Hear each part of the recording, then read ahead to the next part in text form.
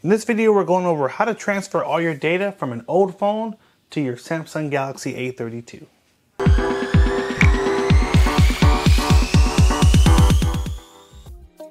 Welcome back to another video. I'm your tech guide, Wayne.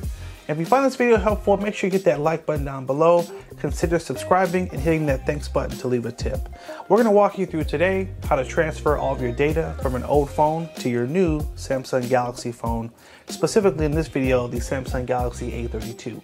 So um, I have an old phone here. This is the phone we're gonna be transferring the data from. And I'm gonna just walk you through the basics of how this works so that it's very simple. So let's go ahead and get started. So the first thing is this, um, depending on where you bought your phone, you might be doing the initial setup or your phone might already be on this screen. So I'm gonna walk you through, I'm just gonna just briefly touch on two things you might see to get your process started. So the first thing is, if you bought your phone online and you've taken it out of the box and you're doing the full setup, then in the initial setup, there's a screen after you connect to your Wi-Fi, it's gonna ask you uh, if you wanna copy apps and data from an old phone. If you get to this screen, it's super easy. You just hit, need to hit next, and it's gonna ask you to put the old phone next to the new phone, and it will download the Smart Switch app to get the process started. However, if you bought your phone from a store, like uh, Verizon or AT&T, T-Mobile, Metro, whatever, then your phone might already be on this screen. You might have bypassed that screen. So I want to still show you how to get to downloading that app because Samsung has a special app that um, you download that will help you transfer all the files for you. So if you weren't, uh, if you didn't have that uh, setup that I just showed you here, no problem. What you're gonna do is on your new Samsung Galaxy phone, swipe down from the top of the screen. In the upper right corner, tap on the little settings wheel right here. You're gonna go all the way down to the accounts and backup section.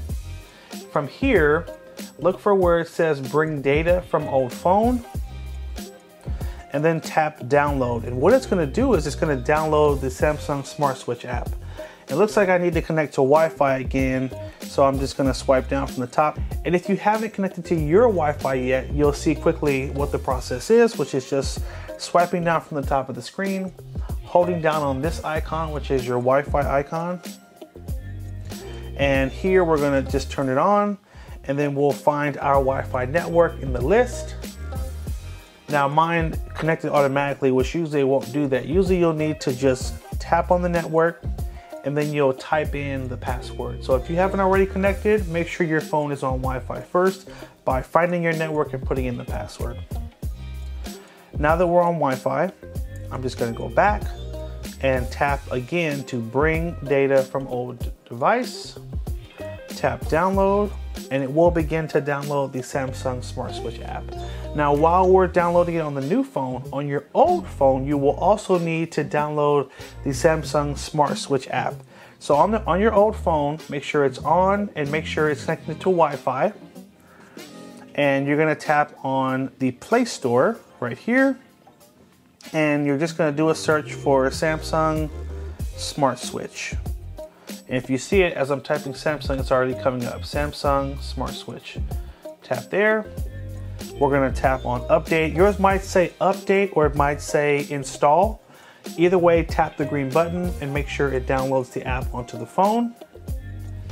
And once it downloads, you should see this on the main screen of your phone. Now, there are a couple of cases I just wanna point out. Let's hit open here. There are some phones every so often where um, you try to search for Samsung Smart Switch and it does not come up in the Play Store. If that happens to you, in the description of this video, I will have a link to where you can download the Samsung Smart Switch app uh, separately for your phone. So just be aware, every so often there are some phones that block the app. And in that case, you do have to manually download it. So check out that link in the description. Um, that will just say how to download Samsung Smart Switch, and that will help you get the app. Okay, let's keep moving forward.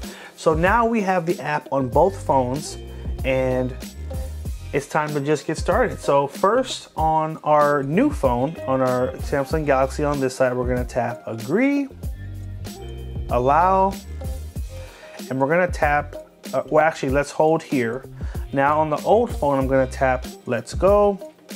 I'm gonna tap wireless,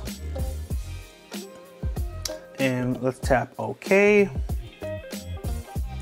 And now on this side, we're gonna tap receiving data.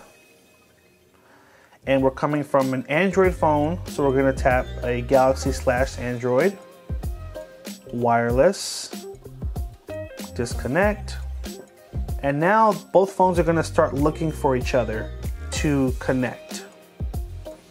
Here it is, invitation to connect right here, tap accept. and after a few seconds they will find each other and now perfect it says connected to galaxy and now this is searching through the phone to see all of the um, data from this phone to transfer over so as you can see it's already done a quick um, catalog of everything on this phone and you can see here there's a, a couple of contacts couple of messages apps um, a few images and some videos. Now, one important thing I want to point out here, this is one of the few apps that will let you transfer uh, text messages. And I've seen this work probably 90% of the time. It should be able to take all the text messages from this old phone to the new phone.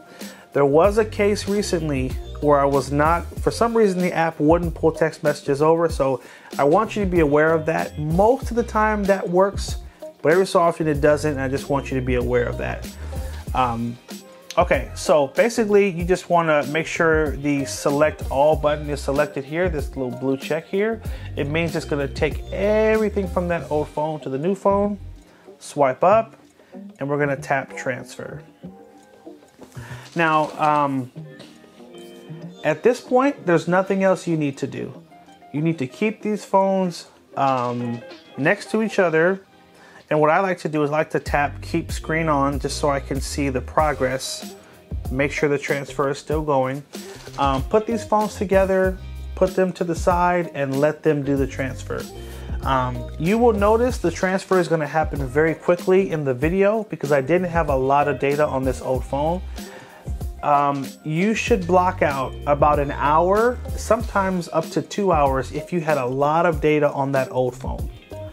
Let the phone sit, let it transfer, and you'll know it's finished because first you'll see on the new phone, it's gonna say transfer complete.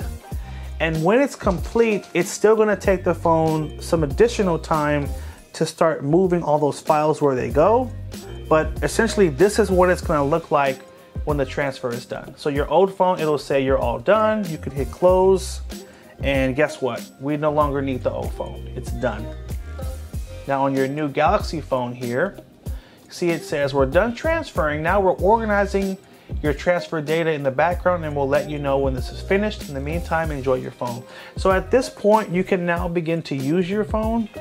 So tap go to home screen and you can start playing around and learning how your phone works and your data is still going to be organizing in the background of the phone, putting everything where it needs to go. So um, that essentially is the process of transferring all your data from an old phone to your new Samsung Galaxy phone.